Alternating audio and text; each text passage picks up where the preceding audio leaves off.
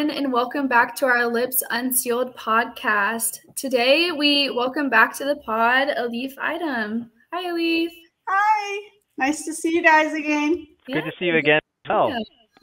It's your second time on here, right? If I'm not mistaken. Might be our first second time guest, I think. Yeah, it's an honor wow. to have you back. I yeah. so special. I know. yeah, you should. and, you know, we're welcome. She, Elif just got off a whirlwind tour of travel. Um, from the states down into uh, the uh, New Zealand and Australia and kind of that area of the world. Yeah. Yes. Yeah. It's been really nice. It's been our sort of like dream to be able to travel certain times of the year and still sort of work. And this was our first trip that we've sort of practiced that and it worked out really good. And that part of the world is just beautiful and uh, weather was very cooperative. So it's been fun. A little you know draining you know with the time difference and balancing work and fun but and the jet, jet lag has not been pretty when we came back but um, we're, we're we're well adjusted now to back to us so. Good.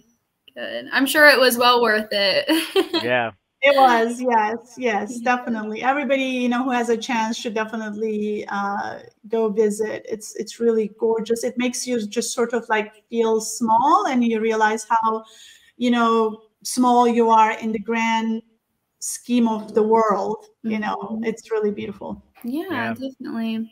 I was actually just talking about making a bucket list the other day, so maybe I should put that on there as one of the items. yes, yeah. for sure. Yes. Well, speaking of traveling, um, you're also big into traveling to different events in the community, isn't that isn't that right? Yes, I mean, I um, I'd like to uh, definitely a couple of events. I've been traveling a lot more, but this year specifically, it's going to be my first time attending Dynamics Con in May. So that'll be sort of a first time going to that particular conference. I'm a speaker, first time speaker, so I'm very excited about that. And um, and I, um, you know. Um, every year I try to attend a user uh, group uh, summit, and um, Bobby and I were also in the planning committee for that, so we get to work together and also uh, obviously be a part of the event as a part of the planning committee, but also sometimes as a speaker and sometimes um, also as an exhibitor as, as well. I really love the um, the, these events because it allows us to really connect with each other first, you know, but also connect with our larger community of customers and other people who are inter- interested in the 365 world. Someone was detected at your front door. Oh no. Not that.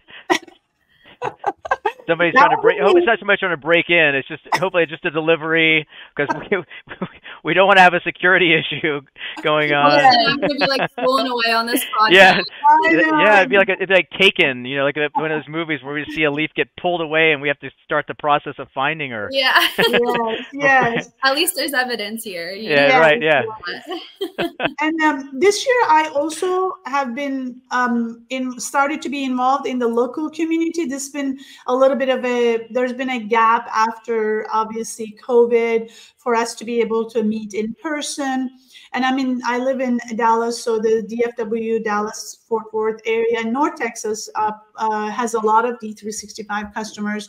Uh, there's a great Microsoft community here that offers their um, offices for a lot of our meetings. So we've been having a lot of like regular meetings and get to know uh, people around the community which you know helps me to do some of the things that are outside of my job. So i you know people sometimes come to me and they're like oh um, I'm having this problem in my D365. I need a contact at Microsoft to connect to. So mm. I like introduce them. Or if I have a young, you know, student from college that may be one of my kids' friends or something like that, and they're looking for an internship, then I'm like, well, I'll introduce you to these companies that may be looking for an internship. And I'm also part of an organization. We'll probably talk a little bit about it. Um, like Tech, it's called Tech Fluent, um, which offers D365 uh, career training to people. And yesterday, actually, I was spending uh, some time sending that information to some of our high schools, mm. community colleges here in the Dallas area. So those are some of the things that I do, sort of like outside of my sort of work umbrella, that gives me pleasure and satisfaction and making sure you know making a, a creating a bigger community around uh, d365 and specifically training yeah, you know we love community, and you mentioned DynamicsCon Live, which is happening right in my backyard. Yes. So you'll be up in Denver, which is awesome. You know, May weather is typically really, really nice. It'll be you know really mild, mild, mild temperatures during the day, and cool enough at night that it's just kind of you know pleasant.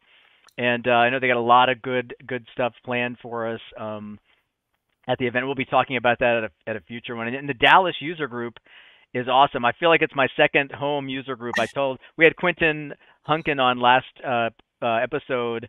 Uh, he's a Microsoft employee down there in Dallas, um, and and he uh, came on. We were just talking about the, the user group a lot there, and and yeah, I love the energy. It's built up really quickly, and it's just a fun group and and a lot of good content. So I've been to I think this is three or four different meetings now with the yes. Dallas user group, just because it's an easy flight for me from D- Denver, and really appreciate getting down there. Yes, yes. And I think what makes it a little bit different is it's there are a lot of customers who are just sort of willing to get themselves out there.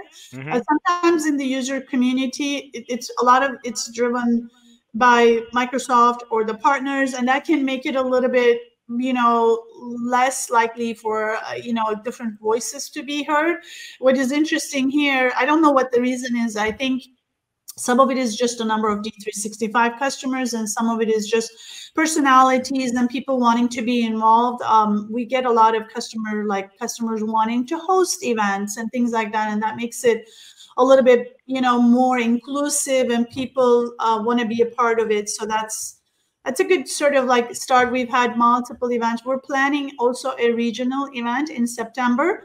It most likely will not be in Dallas right now. We're planning on around Austin, which will be also fun for us. Yeah, yeah. To travel to. So if that happens, where that's one of the the future events that we have. And just like you mentioned that the Dynamics Con will be in your backyard, this year's summit is going to be on a little bit of our, our backyard, not close necessarily enough. exactly in Dallas, but close enough. It's going to be in San Antonio, which will be a driving distance for us. So I'm excited about that. And we are, as the planning committee, just about to start our journey to embark in picking the sessions to be presented for the FNO. So we have a great number of sessions submitted. So I'm very excited to just sort of like go through that process again. Yeah. And uh, give room to new speakers, you know, um, and uh, some customers to be able to present. Those are some of the higher things in my priority list as far as uh, the selection process. Yeah. yeah. Oh. Yeah, we're excited to see. We sent um, a few sessions over, so it's always fun to see who gets to present this year and experience Summit for the first time from our group and everything like that. Yeah. Uh, yeah. And so it's you always- mentioned TechFluent, um, and uh, just such an important organization. I want to take a little bit more time to talk about that really directly, um, because you and I, Elif and I, are like business partners almost. We're we're in so many committees crossing over, um, yes. but it's awesome. I love I love working with her. Um, but we've been been helping out, you know, to plan uh, out the curriculum for the FNO folks uh, who will be signing up in the, the that cohort for this next. Um, um, yes enrollment for TechFluent coming up in September. So yeah, we'll be sharing that information out uh, when we drop this podcast. But let's yes. talk a little bit about this process because it really ties into your business as well. A lot of what we decide to do, you know, involves really easy to digest training for these different modules for this ERP. And so when we looked at how to make it attainable for the folks jumping in, it really involved a lot of what you do. So that you know, we're excited to hear from you on on kind of that learning path and and how you went about setting that up and how it kind of you know pushes into what you do on a day to day for the folks who are using your training. Yes, for sure.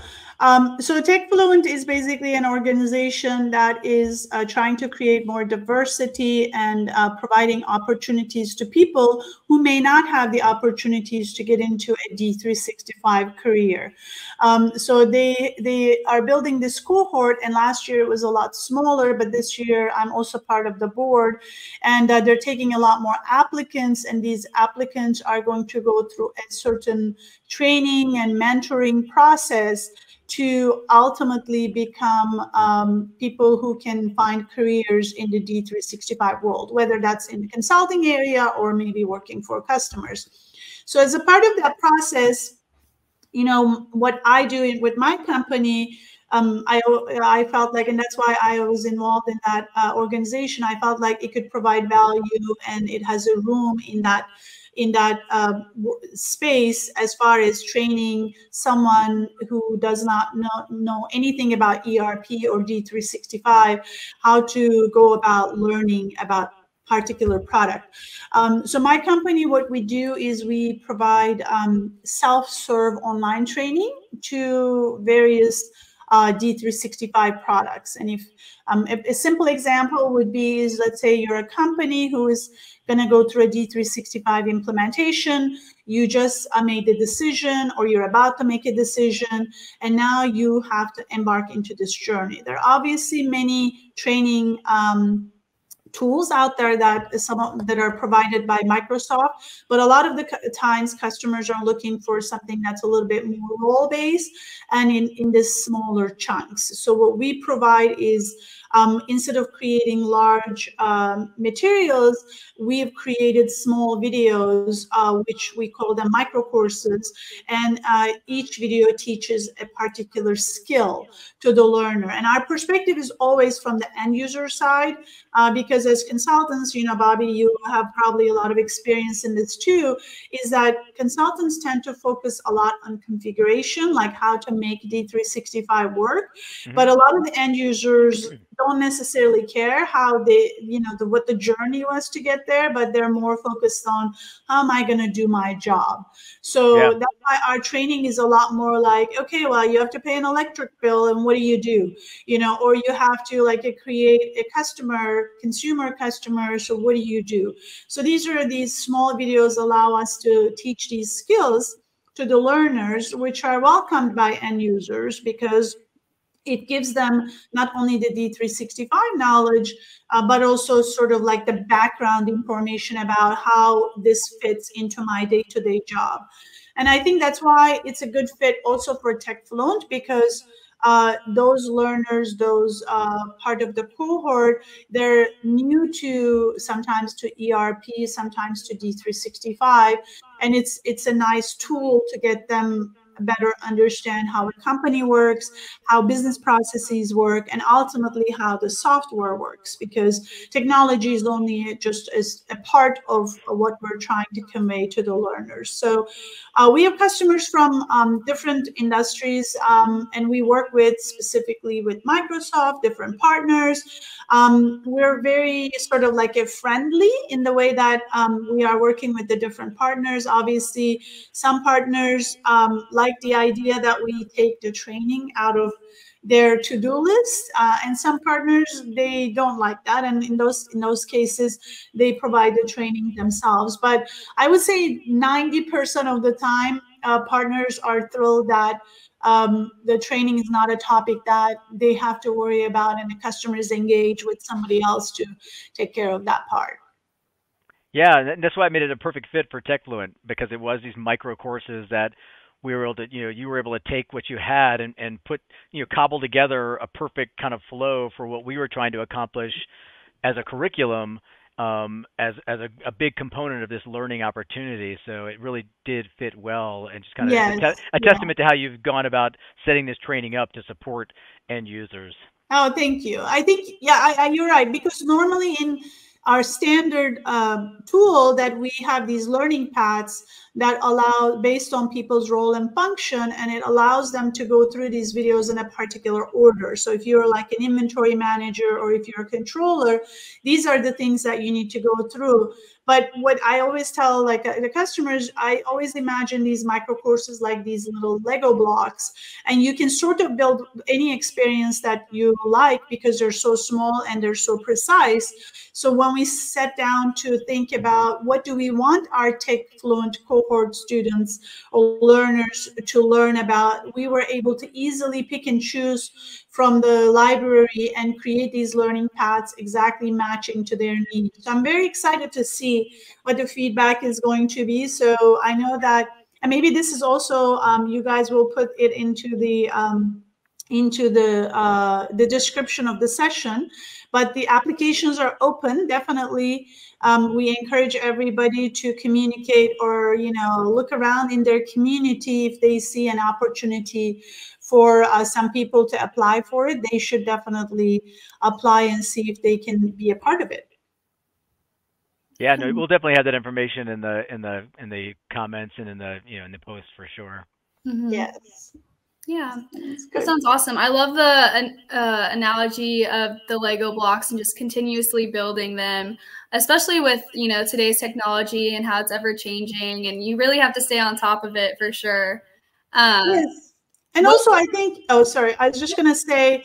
I mean, there's a generational shift also. Like, um, you know, uh, younger generation i don't even want to call it the new employees that are joining into workforce they come from an environment of small videos, small chunks of information. So they want things to be available to them at the you know tip of their fingers. So they don't want to just dig through or maybe have to go through a two three day class to learn about a new product. So the small chunks of materials give you flexibility. When you have 30 minutes within your day and you want to just learn about certain topics you can just log in and maybe be able to watch three four five of those. Or if you want to search and find exactly what you're looking for. This also allows you to do that easily. So I think it just ticks all of those boxes for the people that are looking for a more flexible option. But also, I think it um, it allows to cater into different types of learners right? So every learner has a different sort of style. Some of us like to watch things some of us like to listen and some of us want that interaction with the instructor. But some of us are very shy and they're never going to ask a question in a classroom environment but they can watch the same video five times to really learn about that particular you know topics so i think we the companies need to understand the different sort of needs and offer different sort of options uh, to the learners so that you know not one group gets nothing and everybody gets uh, something else. But i'm also a big advocate of uh, like classroom training. I'm never like um, i think blended approach is the best. So if you have some some tools around online training, self-serve, and give opportunity into some one-on-one interaction, whether that's office hours. We usually recommend that to our customers. And I always also recommend them if they want to have one-on-one, you know, like a classroom sessions and um, you do some exercises, answer some questions. Um, I think a combination of those really make it the best uh, experience for uh, customers who you know who's going through a D365 experience. Mm-hmm. Yeah, what definitely. I, I heard out of there, I'm looking forward to uh, your TikTok D360, uh, D365 tips and tricks and trends. I can't wait for this. These this is a super, oh. super micro uh, tidbits of, of Microsoft learning. uh, that's the next step it's it's already a big job to uh, maintain 1200 micro courses you know it's just uh, because thanks to microsoft who likes to change things um, you know um, especially now in the finance and operations yeah. at scm there's some visual changes that are happening they're changing the product a little bit how it sort of like looks and feels um, it's a big challenge for us because yeah. if we don't apply those changes um, you know, our courses look outdated. So yeah. it, it's a constant, um, constant work for us to go back and, um, you know, I'm, I'm thankful to Microsoft for, uh, you know, adding a bunch of new functions and changing the technology and things like that. But at the same time, it is, it is a pain in the tush. Just let's say that. yes, and you have like you said you have to keep them up like if it's a if it's a company making videos likely they don't never update them like i've worked at companies no. and they do one video and it's the same it's like yeah just don't you'll get don't pay attention to the way it looks but the function's still the same but yes. but from an aesthetic you can't do that i mean it would, yes. it would definitely impact your business uh, you know, integrity at the end of the day to have outdated look and feel to the to the software. Yes, so. I mean, if something significant happens, like one, well, I'll give you one example. Like they all in one of the releases, they changed something like the windows start what were like sliding from the left, and now they change it to slide from the right. And you know, like you cannot just immediately change like 400 courses or whatever, or even right. 100. We usually then record a separate sort of session and say there's been a change. Mm. Um, we are, you know, in the process of changing our videos, but you will see that in many of the courses when uh, the instructor says the uh, the window is going to slide from the left, that's what the video is going to show. But when you go to D365, the, the window may actually uh, slide from the right and uh, it's the same window nothing changes right. and give us some time to update everything but you know functionality does not change. So that seems to help out a little bit. At least they know that we know yeah. um, and we're working on it. That's a good way to preface it you know preface it you getting into yes. hey before you watch you know kind of look at these kind of mm-hmm. addendums if you will to before yes. you jump in. Yeah. Yeah cool. Yes. Yeah.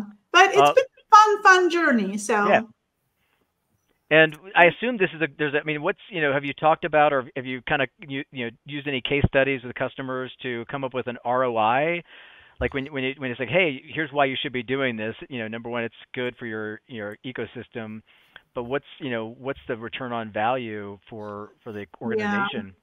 I mean, I think overall, we always see, um, obviously, when people understand. So, when a new, so it's a little bit different. Like for a brand new implementation versus an upgrade. So I think the value prop for both of them slightly different. So when you're doing a brand new D365 implementation, there's a lot of fear, anxiety around how the tool looks is it going to work? What my job is going to be looking like? So having a tool available to the learners at their own time at their own you know pace really just takes that anxiety down and just you know makes it more real. You know instead of hypothetically talking about a system it just they are able to see how specific things are being done using the software. So i think if i see that i get that comment from the customers all the time. It really reduced to fear. It also sort of taps into this excitement because at the beginning of every implementation there's big excitement and you know about a new uh, you know project. Um, but a lot of the times those people are not even involved in the project you know all the way a little bit later. So by making them a part of a training initiative you're just sort of tapping into that excitement and getting them uh, to start it on um, on the you know on the learning process. And and i always get this comment from the customers. They say that they can clearly see the people that are using the platform or separate or differentiate the people that are using the platform uh, from the people who are not in the hmm. meeting because they're a lot more vocal they're asking questions they understand because our goal is for making sure that they understand d365 so that they bring to the table their own knowledge about the business so that there's a better match between the d365 and um, and what the you know ultimately that company needs from d365 so um and for the upgrade i think even the roi is you know even bigger because they already know ax you know obviously mm-hmm. ax has changed a lot to to d365 but you know the nuts and bolts and this you know the basic stuff is still pretty similar you know. Sales order still has a header and lines and you still you know update inventory a certain way. So giving them access to d365 online training really fills in that gap gap and makes them understand um, D365 quickly because they already know AX.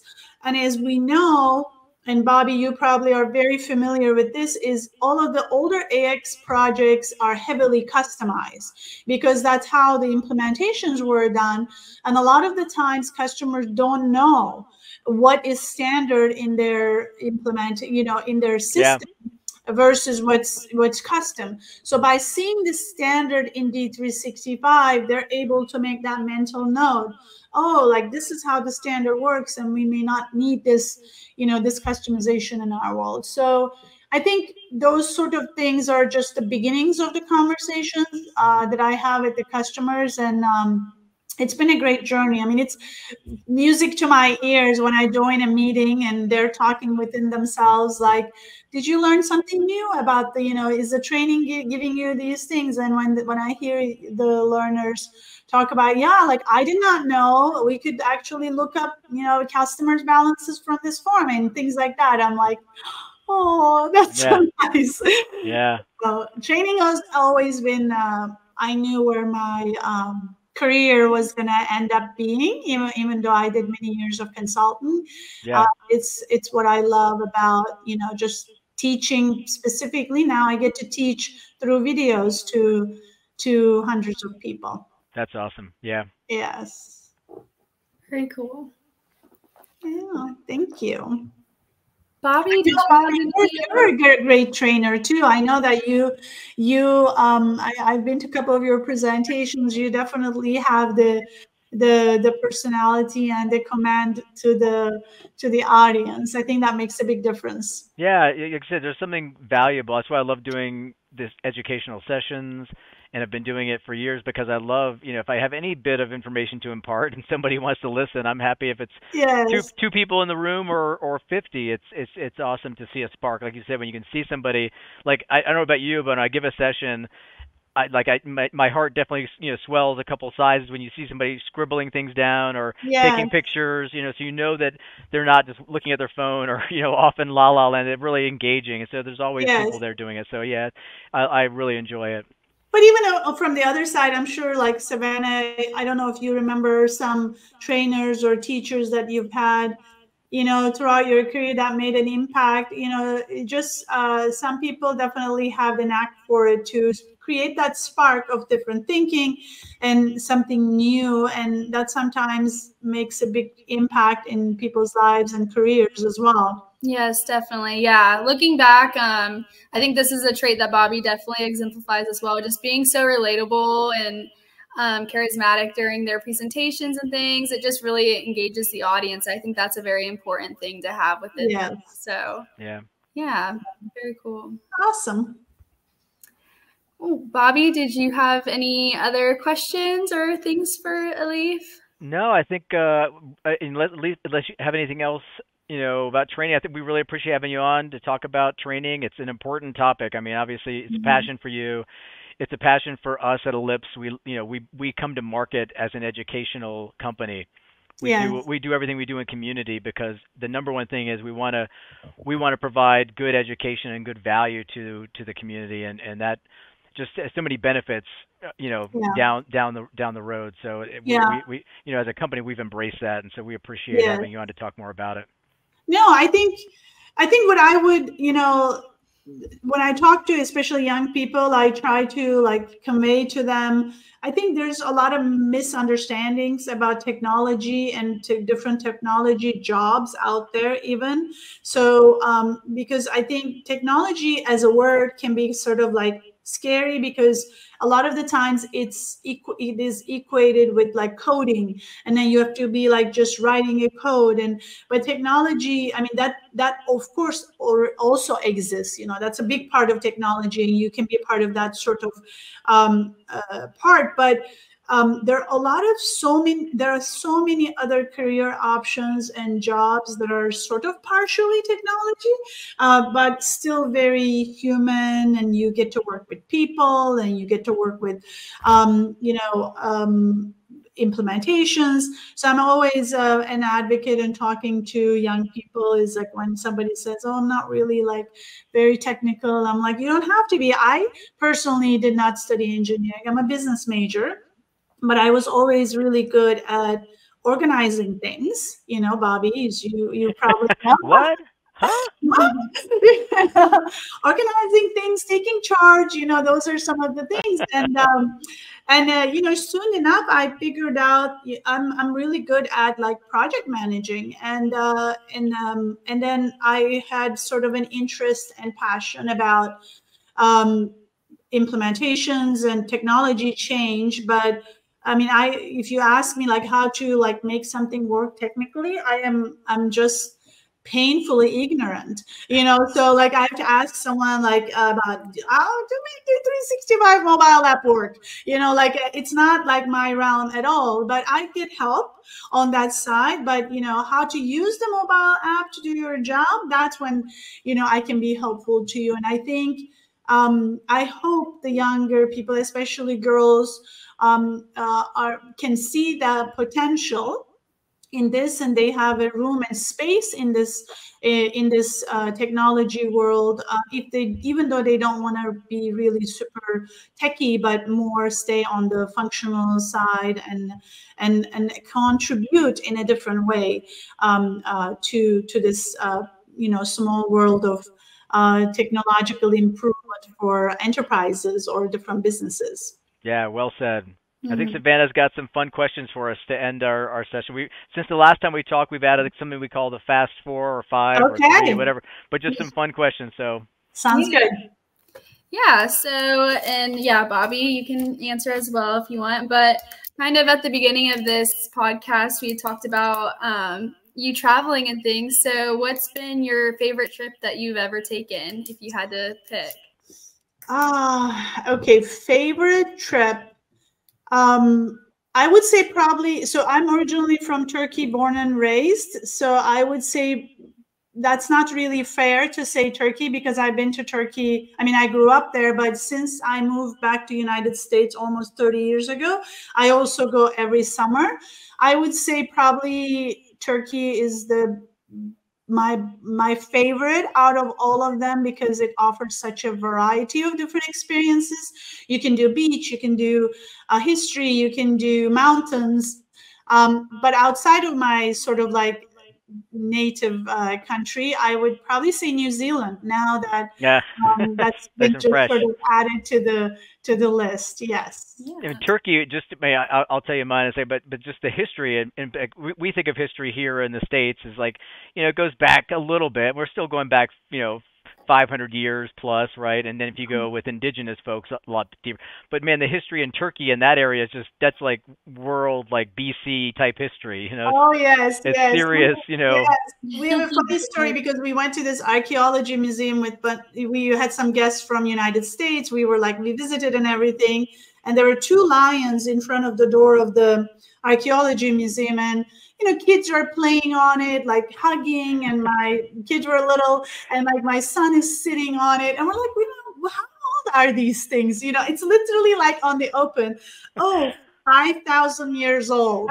And uh, literally, it's just like uh, laying and, you know, for, yeah. because there's so many of it. Yeah. It's really unfortunate. I don't know. It's um, maybe it's an unfortunate thing. It's sort of a little bit taken granted, but it's yeah. definitely a, a, country to visit. You should yeah. come, Bobby. Yes. Yeah, no, I, I mean, I've got so many countries on my bucket list. Uh, the most recent trip for me, though, I, I took a driving trip in, in the Northwest. I had never done that, and so it, through Seattle and Washington and into Vancouver, Canada. It was just perfect weather, perfect time of the year. It just, you know, it was really fun way to just kind of drive and, and see a bunch of sites in that area. So I, that was kind of top of mind for me. Nice. Those both sound very fun. I've never yet been out of the country, so yeah. well, I will be soon. Um, I would say you're going for your honeymoon, right? Yeah, to St. Lucia. So that'll be my first time. I had to get my um, passport for the first time. Nice. That's exciting, but yeah. I think that's a big hurdle step. If you have your passport, now you have to go to places. Right, you got to get stamped. yeah, exactly. Yeah. I have a goal to get some things on those pages. well, cool. Um, the next question I have, um, what is the best or maybe funniest memory you have at like a community event, whether that's Summit or any of the other ones? Um, okay, yeah, I have one. And I think I I told the story. Maybe I don't know if you, Bobby, know this. So my first um, uh, summit session, I submitted my summit session, and it was in um, this was in, uh, it will come to me which city it was in. I think it was in Phoenix. Yeah, it was in Phoenix. Yeah.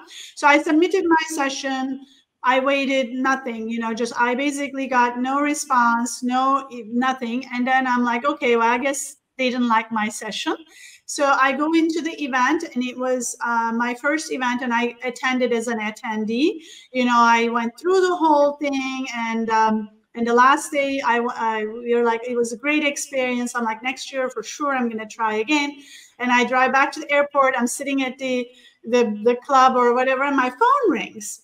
And then I pick up, and Pam is on the other side, and Pam is like a, one of the organizer, and she's like, Elif, where are you? And I'm like, I'm at the airport. And she's like, well, everybody's here waiting for your session. And I'm like, what are you talking about? And uh, she's like, oh, yeah, and the room is full. Oh, no. to put a nail on the coffin for me. And I'm like, what do you mean? Oh, like, I found out, of course, later on that my session got approved. It got put into the schedule never received an email oh, never no. received anything and i have a feeling why because my uh, email has this dot .co at the end i think whatever has happened probably oh. went into the wrong email so the nice thing is some volunteers got up and did a presentation about training to the group and uh, and pam's like i'm so sorry next time uh, we will do it the right way and uh, we did plan but then the next time covid happened no. but that was um, as soon as I hang up that phone, I'm like, I need a gin and tonic. So that, was the, that, was really the um, a little bit of a fun. I don't know if I would call it a fun, but definitely an interesting, memorable, for memorable sure. community event experience. Yes. I, am going to throw one out that that was uh, the first uh, summit I went to, and it was in Vegas, and they had a at one of the events they had a um, a Rat Pack impersonation group. So Frank Sinatra and Dean Martin and Sammy Davis Jr. and they did a whole show. And afterwards, uh, the, they hung around, and so I spent about an hour and a half talking to Sammy Davis Jr. And the guy was so good that he would flip back and forth. Like if I asked him a question, I was like, "Let me ask you a question," and, but you ask Sammy Davis, and he, I would ask him, and he would answer as Sammy, and then we'd go back to talking. We were from the oh. same area, so we had a lot in common. So we talked a lot about the East Coast. But then I would just kind of quiz him every once in a while, and he'd just flip right. And they would fly. He flew around the country like this whole group. Like they would fly around. Sometimes he would be with a different Sammy, a different Dean Martin and a different Frank Sinatra. Like it wasn't the same group, but they would just say, "Hey, we need a Sammy Davis," and they would pull him in or whatever. You know, how fun. It was kind of fun. Yeah, it was kind of fun. That is fun. But there should be more impersonators at the summit events. What happened? I, we, need, we need more impersonators. We need sure. more impersonators. Yeah. yeah. What last year we tried having like a Ricky Bobby impersonator. We were, I wanted so hard to have a Ricky Bobby impersonator in Charlotte. Yeah. That'd have been fun. Yeah. You'll Maybe. get a Bobby impersonator in Denver for for DynCon. There you go. That'll be an easy one, right? Yeah, yeah. Yeah. cool. Well, my last question is pretty simple. Um, if you could be any animal, what would you be and why? I would probably like to be a bird, some form of bird, you know. Yeah. So I'd probably like flying would be super fun and going to different places. Yeah. Um, yeah. Yeah. I, I, immediately thought bird. Like with you, I'm not, I'm not sure what bird. I'd have to give that some deeper thought, like you know, yeah. like a, a bird of prey, or or just kind of a sweet little Tweety bird, or you know, or, or a woodpecker would be kind of a, that'd be hard because you're whacking your head all the time. Yeah, yeah, definitely flying or some type of bird would be my yeah. choice as well. Mm-hmm. Yeah, I'd have to agree with that too. That'd be very cool. Yeah. But cool. Well, those are all the silly little questions I have for you guys. but, awesome. That was fun. Yeah. But yeah. Elif, thanks again for joining us. Like Bobby said, we really appreciate you taking your time and just chatting with us. This is oh, great. Oh, thank you for having me. It was a lot of fun. Yeah, I, uh, I, I get to do these maybe a couple of times a year. It's always fun to just sort of connect and talk about training. I can probably talk about it for hours. So thank you for having me.